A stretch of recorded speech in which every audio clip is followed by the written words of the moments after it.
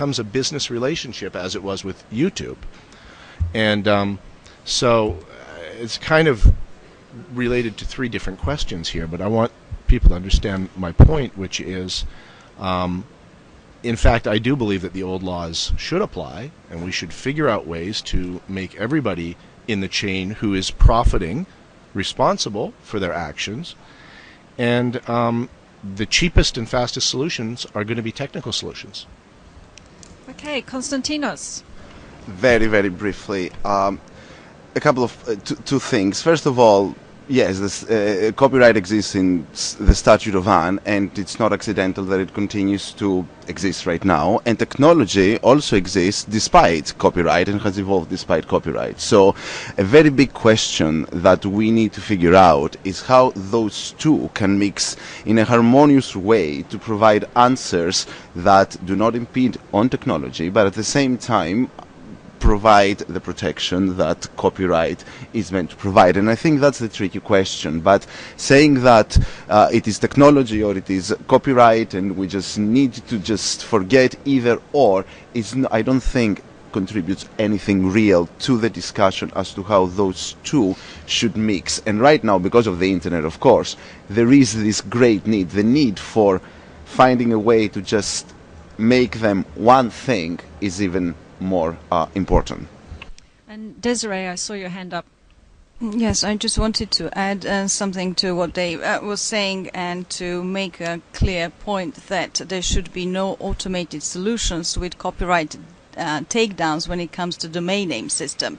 It may work well with YouTube, but uh, when it comes to domain name system, we uh, should not ever um, retort to um, those kind of sanctions because of the proportionality argument, because of the uh, right to conduct a business. In Europe, for example, if you have a domain name registered, that is your right to conduct business online.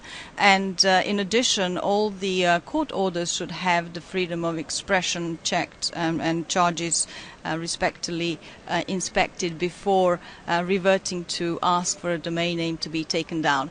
Um, some other people have also mentioned that um, a domain name as well may be actually um, having a third level and fourth level and serving much, much larger community than a single uh, video that may be um, actually found on that single website. So we need to be very careful, and I need to say when it comes to domain name system, there should be no automated web blocking or um, takedowns unless it comes it is a is a is a question of malware or spyware and intermediaries uh, they're very responsible and they um, do not have a business incentive to do that but they have a responsibility for serving and running the bits um, on the internet and uh, powering and keeping the flow of information um, in a secure and stable manner. Okay thank you everyone. Oh one more.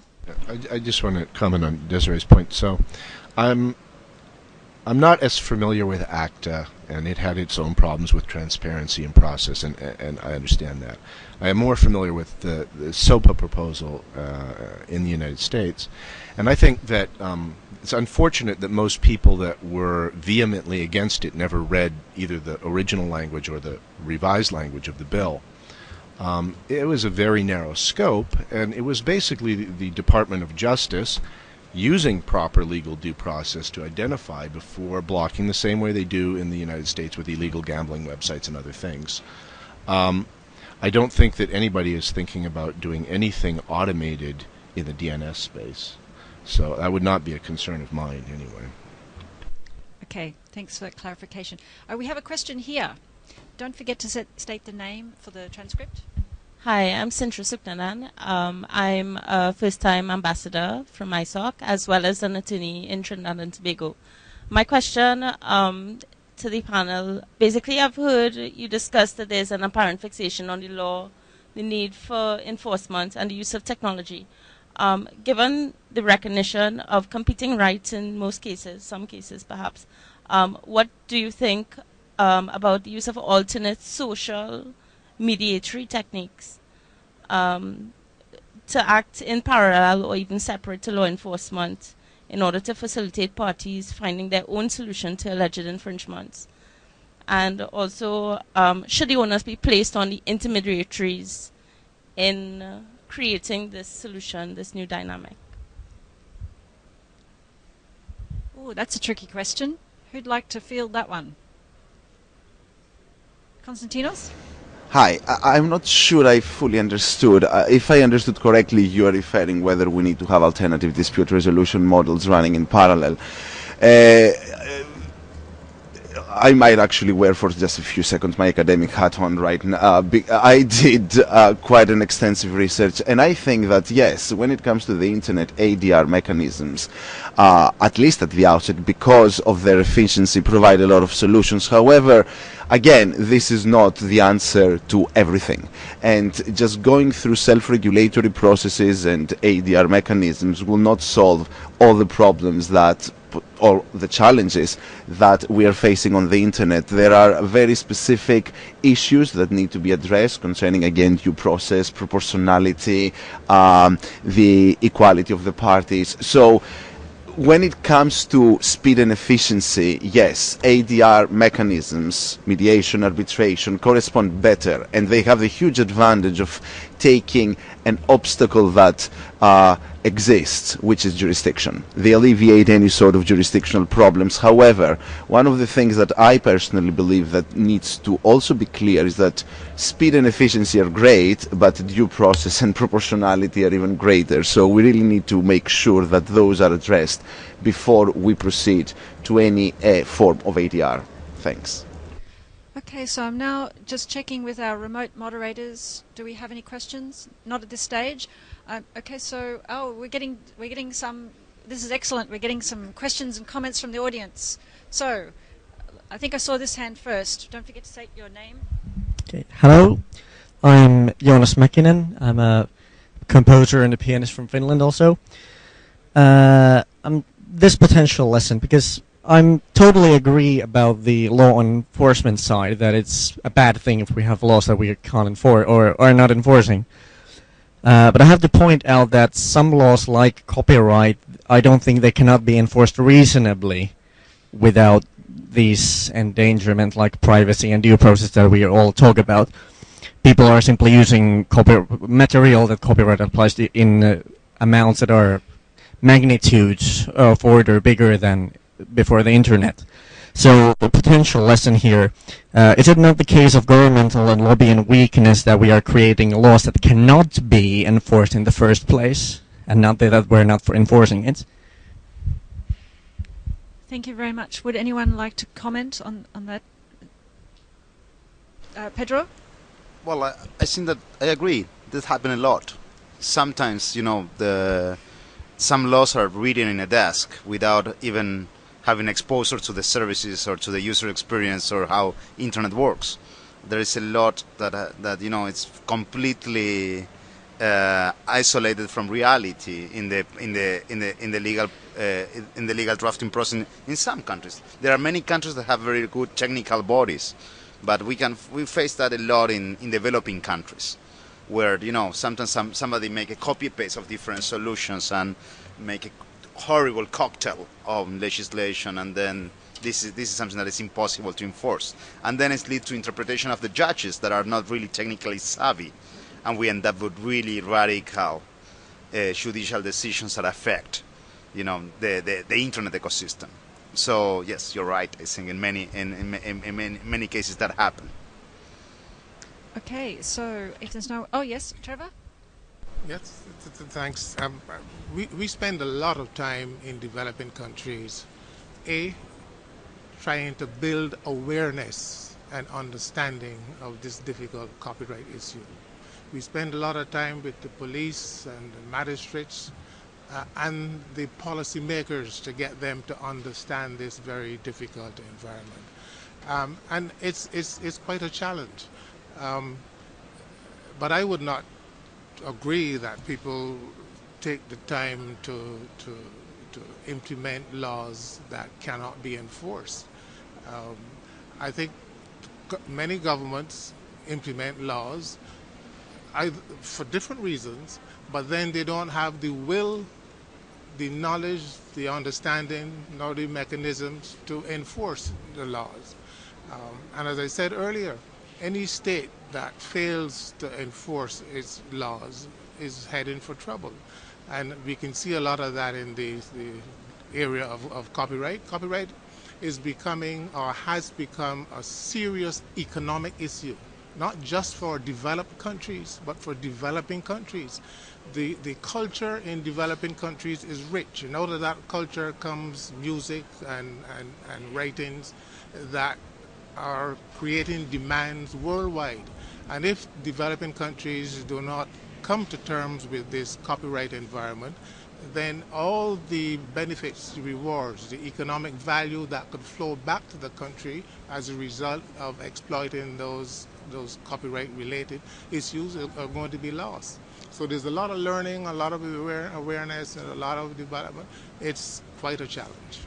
Uh, Thank you, Trevor. David, I'm just going to ask you to hold that thought for a moment because there were a number of questions. Uh, so keep keep what you're going to say for a little bit later. Uh, let me just take these questions or, or comments. Okay.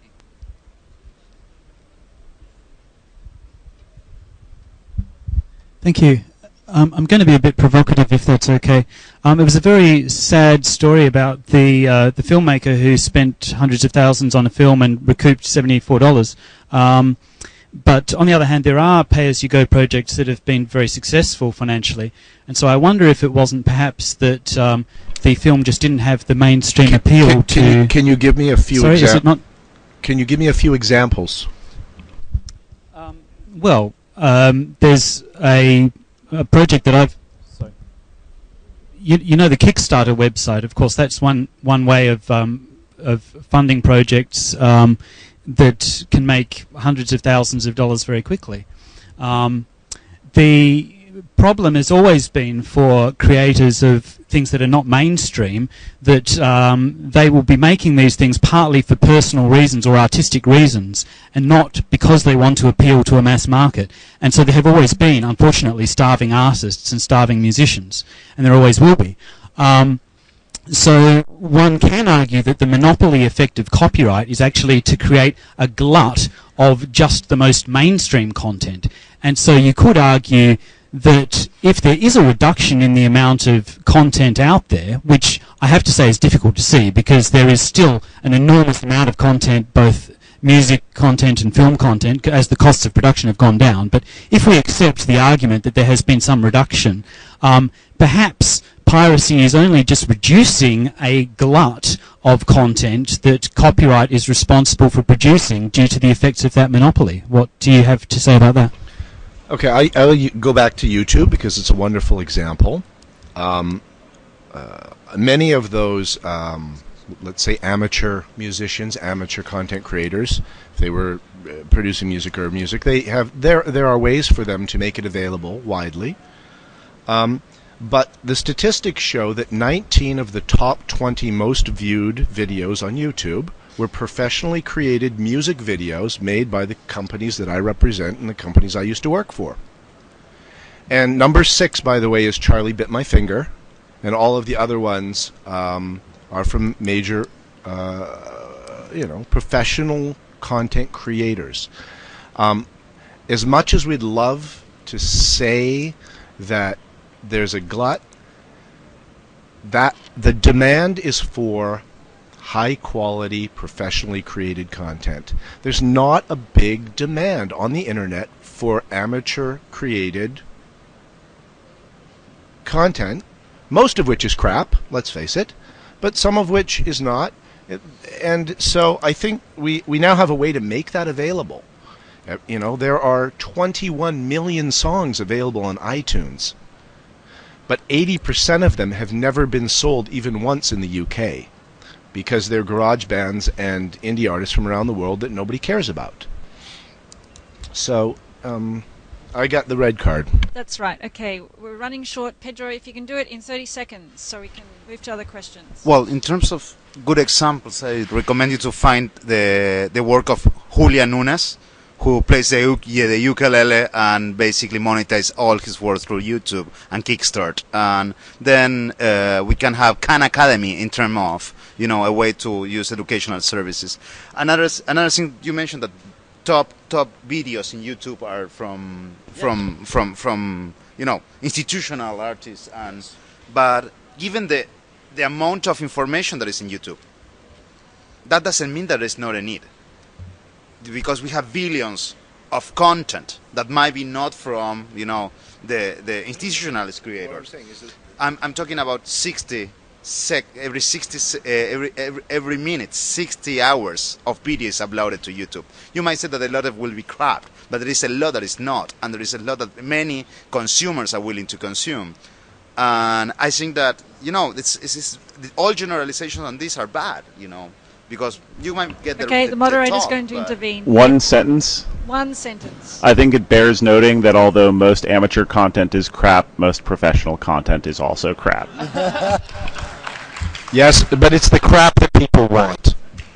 Okay, we've got another question from the audience.